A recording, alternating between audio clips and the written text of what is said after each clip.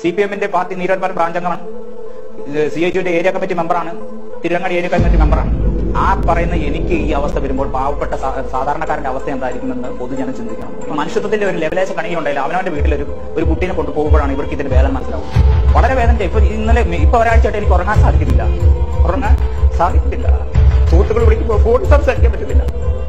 അതേ അവസ്ഥയാണ് ഞാൻ നിൽക്കുന്നത് നിന്നാണ് ഭാര്യനെ മോനെ കണ്ടെത്തുന്നത്. ഞങ്ങൾ ആ ഓഫീസിൽ ചെല്ലുമ്പോൾ വളരെ മോശമായിട്ടുള്ള അങ്ങോട്ട് കടക്കാനുണ്ട്. നമ്മുടെ കേരള നമ്മൾ അവിടെ ചെല്ലുമ്പോൾ നമ്മൾ കേരളത്തിൽ തന്നെയാണോ ജീവിച്ചു പോകുന്നതെന്ന് നമുക്ക് ഒരു ഭീതി ജനിപ്പിക്കുന്ന അന്തരീക്ഷമായിരുന്നു ഞാൻ അവിടെ ചെല്ലുമ്പോൾ ഉണ്ടായിരുന്നത് ആർക്കും ഈ മനുഷ്യത്വത്തിന്റെ ഒരു ലെവലേഷൻ ലെവലേശ കണിയുണ്ടായില്ല അവനവന്റെ വീട്ടിൽ ഒരു ഒരു കുട്ടീനെ കൊണ്ട് പോകുമ്പോഴാണ് ഇവർക്ക് ഇതിന്റെ വേദന മനസ്സിലാവുക വളരെ വേദന ഇപ്പൊ ഇന്നലെ ഇപ്പൊ ഒരാഴ്ചയായിട്ട് എനിക്ക് ഉറങ്ങാൻ സാധിക്കുന്നില്ല. ഉറങ്ങാൻ സാധിക്കുന്നില്ല. സുഹൃത്തുക്കൾ വിളിക്കുമ്പോൾ ഫോൺ സംസാരിക്കാൻ പറ്റത്തില്ല. ഈ ബുഷറ എന്ന് പറഞ്ഞ സ്ത്രീ ഇവർ സ്ഥിരമായിട്ട് നമ്മുടെ വീട്ടിൽ വരികയോ പോവുകയൊക്കെ ചെയ്യും. നമ്മളത് മൈൻഡ് ചെയ്തില്ല. അപ്പൊ ഇവർ ഈ സ്ത്രീ തന്നെ എന്നോട് ചോദിച്ചിട്ടുണ്ട് നിങ്ങൾ മതം മാറിക്കോ?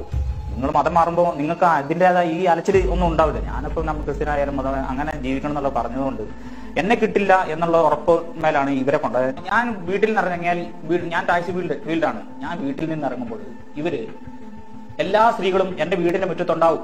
അയൽപക്ക ഉള്ള സ്ത്രീകളെല്ലാം എന്റെ വീടിന് ചുറ്റും വരുന്ന് അപ്പൊ ഇവർ സംസാരിക്കുന്നതിന്റെ ഇടയ്ക്കോട്ട് നമ്മൾ പോകുന്നത് ശരിയാണോ? അത് ഞാൻ വരുമ്പോഴത്തേക്ക് ഇവരെല്ലാം എസ്കേപ്പ് ആവും.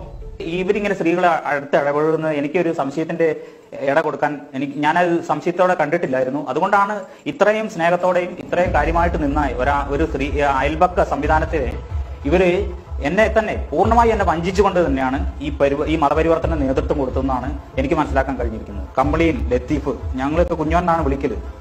ആ കുഞ്ഞോനെ കുഞ്ഞോനും അതേപോലെ ഹിറാനേഴ്സിൽ നടക്കുന്ന ഒരു ഷാഹുൽ കമീൽ എന്ന വ്യക്തിയും കോട്ടിയാടൻ ഇസ്മായിൽ ഒരു ബേക്കറി നടത്തുന്നതാണ്. എന്റെ ഭാര്യ ആ ബേക്കറിയിലാണ് പണിക്ക് പോകുന്നത്. ഇവരിങ്ങനെ മൂന്ന് പേരും കൂടി ആലോചിച്ച് ഈ ഇത് മാറ്റാനുള്ള തയ്യാറെടുപ്പുകൾ നടക്കുന്നതെന്ന് ഞാൻ പുറത്തിട്ട് നിന്ന് അറിയാൻ എനിക്ക് കഴിഞ്ഞു. പഞ്ചായത്തിലെ മെമ്പറാണ്. ആ മെമ്പർ വിളിച്ചു പറഞ്ഞിട്ടുണ്ട് വീട് നന്നാക്കാന്ന് പറഞ്ഞിട്ടുണ്ട്.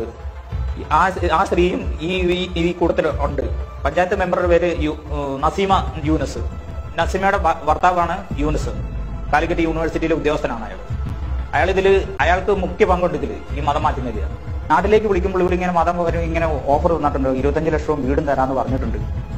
ഇതൊക്കെ പറയുമ്പോൾ അമ്മ പറയും അങ്ങനെ മതം മാറിയിട്ടുള്ള ജീവിതം വേണ്ട എന്നുള്ളത് അമ്മ അങ്ങനെ പറയാറുണ്ട്. ആ ഇവിടെ ഇടയ്ക്ക് പറയാറുണ്ട്. ഇപ്പൊ വിദേശത്ത് നിന്നൊക്കെ ഇഷ്ടംപോലെ പൈസ കിട്ടും മതം മാറിയാൽ. അതിന് ഇങ്ങനെയുള്ള സംഘടനകളുണ്ട്. ഐ എസ് എന്ന് പറഞ്ഞാൽ എനിക്ക് സത്യത്തിൽ നമ്മൾ ഇപ്പൊ തീവ്രവാദ സംഘടന എന്നാണ് അറിയപ്പെടുന്നത്. ഇവിടെ ഇടയ്ക്ക് ഇങ്ങനെ ചോദിക്കാറുണ്ട്. അപ്പൊ ഞാൻ ഇത് എന്തിനാ ഇതൊക്കെ നീ അറിയാം? ഇതാരും നിന്നോട് ചോദിക്കുന്നത് അപ്പം ബുഷറാത്ത പറഞ്ഞു ബുഷറ പറയും അല്ലെങ്കിൽ പോലീസ് പറയും. അപ്പൊ ഇതൊക്കെ നമ്മൾ പെണ്ണുങ്ങളുടെ വിഷയമായതുകൊണ്ട് നമ്മൾ അതൊക്കെ വെറുതെ അവർക്ക് അറിയത്തില്ലാത്ത കാര്യങ്ങൾ എന്തെങ്കിലും ചോദിച്ചറിയുന്നതെന്ന് വെച്ചാണ് ഞാൻ സംസാരിക്കുന്നത്. മുഖദാറിലെ തർബിയത്തിൽ നിന്നാണ് ഭാര്യനെ മോനെ കണ്ടെത്തുന്നത്. ഞങ്ങൾ ആ ഓഫീസിൽ ചെല്ലുമ്പോൾ വളരെ മോശമായിട്ടുള്ള അങ്ങോട്ട് കടക്കാനുണ്ട്. നമ്മുടെ കേരള നമ്മൾ അവിടെ ചെല്ലുമ്പോൾ നമ്മൾ കേരളത്തിൽ തന്നെയാണോ ജീവിച്ചു പോകുന്നതെന്ന് നമുക്ക് ഒരു ഭീതി ജനിപ്പിക്കുന്ന അന്തരീക്ഷമായിരുന്നു ഞാൻ അവിടെ ചെല്ലുമ്പോൾ ഉണ്ടായിരുന്നത്. അത് നമുക്ക് അങ്ങ് ഗേറ്റ് കടന്ന് അങ്ങോട്ട് ഉള്ളിൽ ഇത് കയറാൻ പറ്റാത്തൊരു സാഹചര്യം. അവിടെ ചെന്നപ്പോൾ പോലീസുകാരെ അങ്ങോട്ട് കയറ്റാൻ അവർ സമ്മതിക്കുന്നില്ലാത്തൊരു ഒരു രീതി കണ്ടിരുന്നു. കുട്ടി എന്റെ കുട്ടിയോടോ എന്റെ ഭാര്യയോടോ എനിക്ക് സംസാരിക്കാനുള്ള ഒരു- യാതൊരു വോയിസും ഇല്ല അവിടെ. ഒരു ആളോട് സംസാരിക്കാൻ എന്റെ ഭാര്യ എന്ന് പറഞ്ഞാൽ എനിക്ക് സംസാരിക്കാൻ പോലും സാധിക്കത്തില്ലാത്ത സംസാരിച്ചു? അത് അവിടെ നിൽപ്പുണ്ടല്ലോ അതാ അത്ര എങ്ങനെ അവരുടെ അവരുടെ മുന്നിൽ നിന്ന് ഒന്ന് എനിക്ക് എന്റെ കാര്യം പറയണ്ടേ?